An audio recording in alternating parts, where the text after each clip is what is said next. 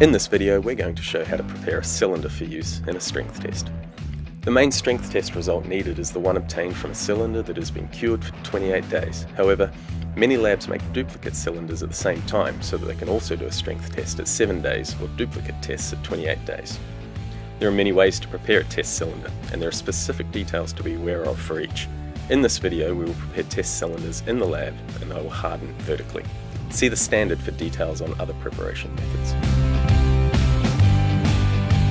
Equipment you'll need a mould release agent and a brush, a dry cloth, a scoop, a soft-nosed hammer, gloves, a trowel, a tamping rod to the dimensions shown with a round hemispherical tip. You will also need test cylinder moulds of the correct dimensions.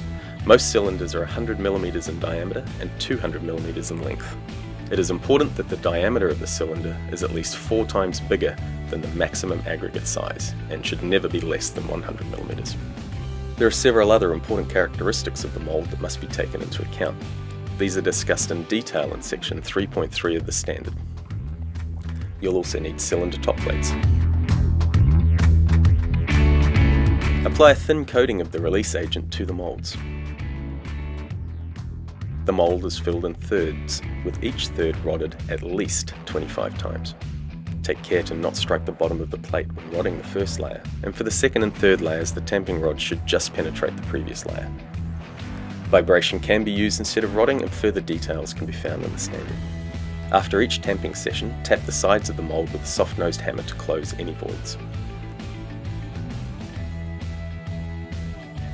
To ensure that the rod doesn't penetrate too deeply into the previous layer, a lot of people hold the tamping rod at the correct position, as shown.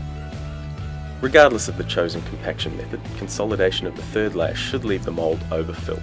Strike off the surplus concrete with a trowel to produce a flat, even surface that is level with the edge of the mould and has no depressions or projections larger than 1mm.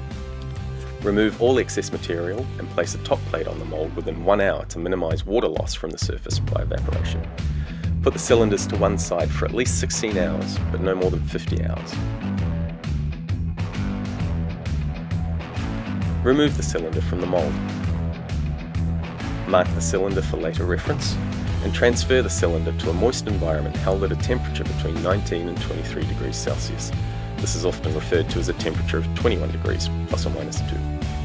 Detailed written instructions for preparing test cylinders can be found in the standard.